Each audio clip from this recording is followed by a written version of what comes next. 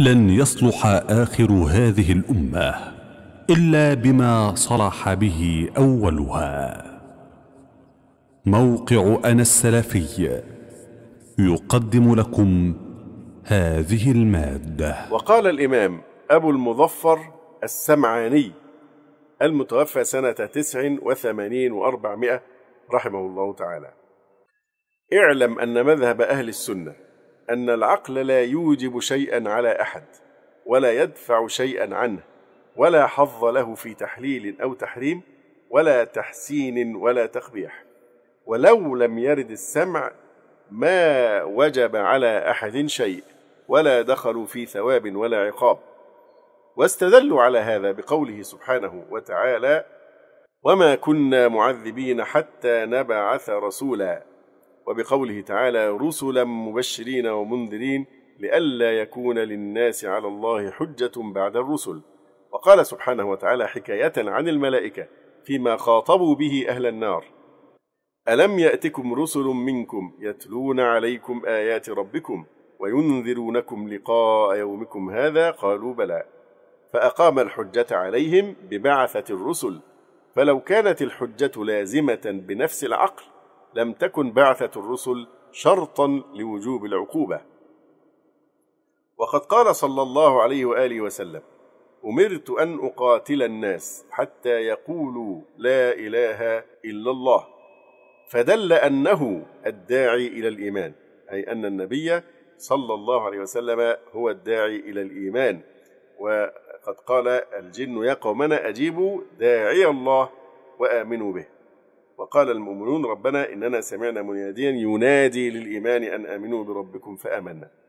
إذا هذا الحديث أمرت أن أقاتل الناس حتى يقولوا لا إله إلا الله يدل على أنه صلى الله عليه وسلم هو الداعي إلى الإيمان وعندهم أن الداعي إلى الإيمان هو العقل. وجاء الكتاب مؤيدا لهذا قال الله تعالى قل يا أيها الناس إني رسول الله إليكم جميعا الذي له ملك السماوات والأرض فدل أن الدعوة له وأن الحجة تقوم به وأمثال هذه الآيات في القرآن كثيرة.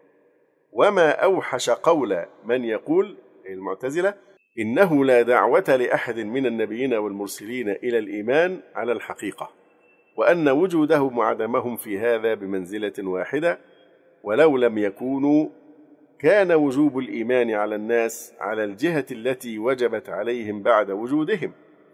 ولا حظ لدعوتهم في هذا وإنما الحظ لدعوتهم في الشرائع وفروع العبادات. فقد جعلوا عقولهم دعاة إلى الله ووضعوها موضع الرسل فيما بينهم. ولو قال قائل لا إله إلا الله عقلي رسول الله لم يكن مستنكرا عند المتكلمين. طبعا يعني المعتزلة من جهة المعنى فظهر فساد قول من سلك هذا المسلك. ثم نقول والله الهادي الموفق إن الله تعالى أسس دينه وبناه على الاتباع وجعل إدراكه وقبوله بالعقل فمن الدين معقول وغير معقول يعني لأن من التكاليف الشرعية ما يدرك العقل الحكمة فيها ومنها تعبدي لا يدرك العقل الحكمة فيه. يقول فمن الدين معقول وغير معقول. والاتباع في جميعه واجب ومن أهل السنة من قال بلفظ آخر قال إن الله لا يعرف بالعقل ولا يعرف مع عدم العقل. إن الله لا يعرف بالعقل يعني بل يعرف بالوحي ولا يعرف مع عدم العقل. ومعنى هذا أن الله تعالى هو الذي يعرف العبد ذاته فيعرف الله بالله لا بغيره لقوله عز وجل إنك لا تهدي من أحببت ولكن الله يهدي من يشاء. ولم يقل ولكن العقل يهدي من يشاء. وقال تعالى ويهدي من يشاء إلى صراط مستقيم. والآيات في هذا المعنى كثيرة. وقد ثبت أن النبي صلى الله عليه وسلم قال والله لولا الله ما اهتدينا ولا تصدقنا ولا صلينا.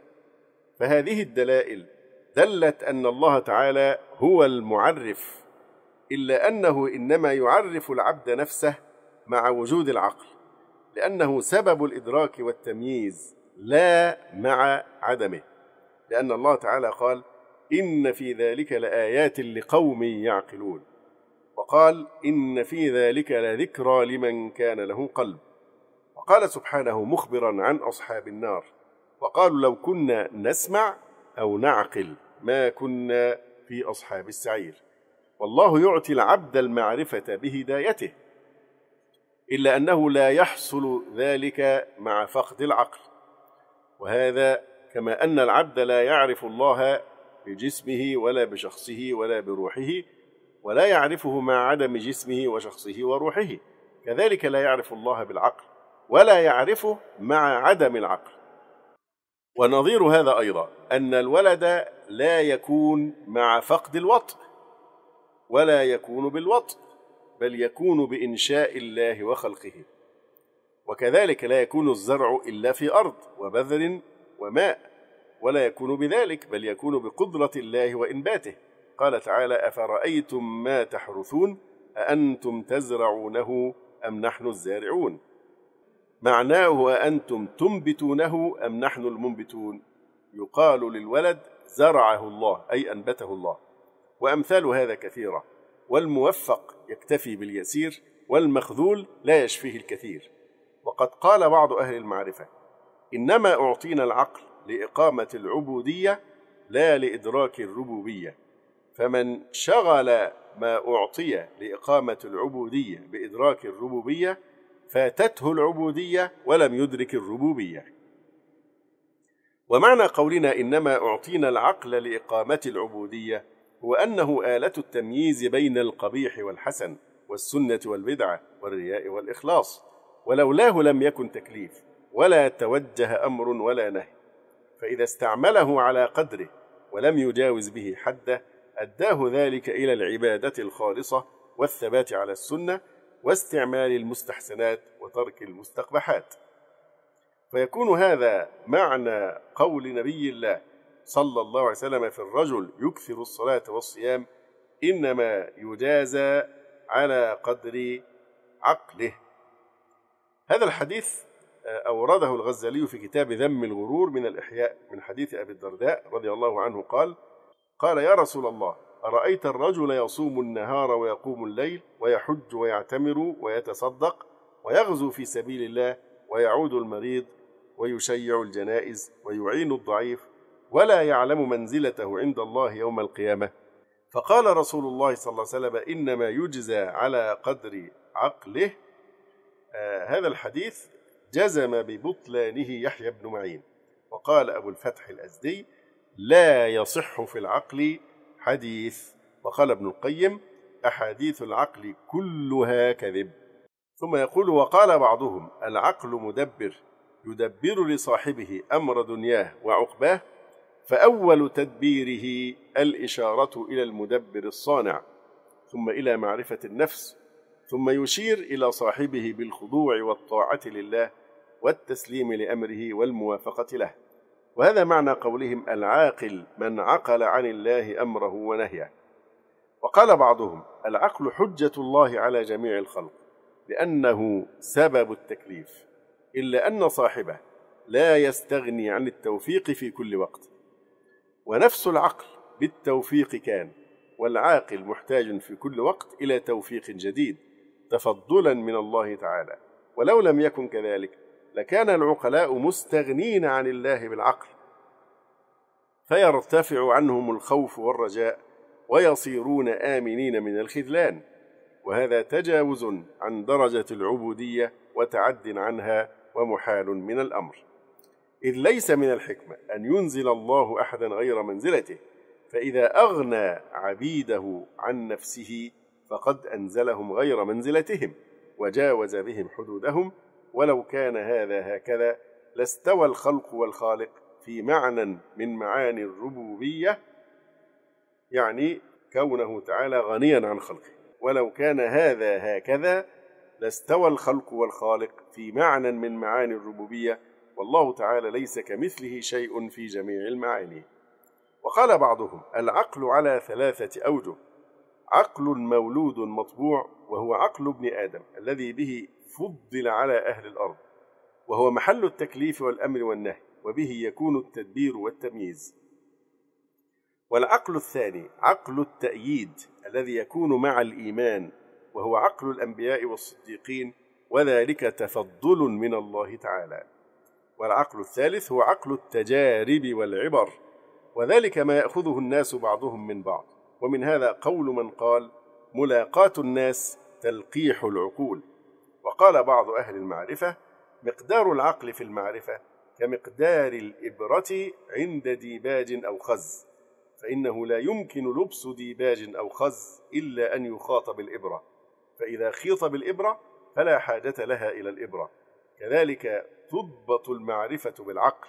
لا أن المعرفة تحصل من العقل أو تثبت به. واعلم أن فصل ما بيننا وبين المبتدعة هو مسألة العقل. فإنهم أسسوا دينهم على المعقول وجعلوا الاتباع والمأثور تبعا للمعقول. وأما أهل السنة فقالوا الأصل في الدين الاتباع والمعقول تبع.